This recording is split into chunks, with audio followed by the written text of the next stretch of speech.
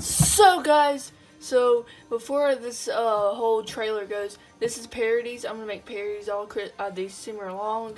Um, I'm gonna make like Christmas movie parodies. So here we go.